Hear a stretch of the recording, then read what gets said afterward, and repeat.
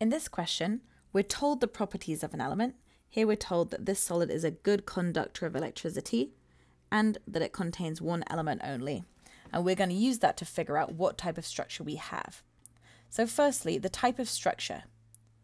Well, since it's a good conductor of electricity, the only option here that is a good conductor would be a metal, a metallic solid. Ionic solids, covalent network solids, and molecular solids are not good conductors of electricity. So we know we have a metal. It also tells us that it contains one element only. So that's pointing to it being a pure metallic solid. Both of the alloys, those are metals that contain two or more different types of metal. So this is a pure metallic solid.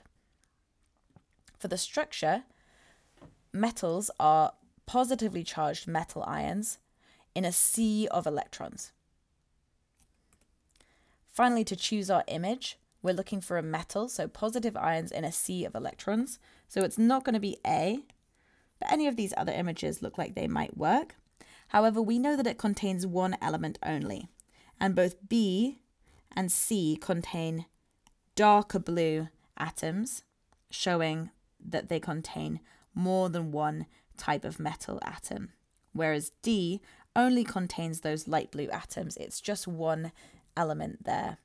So D is going to be our image.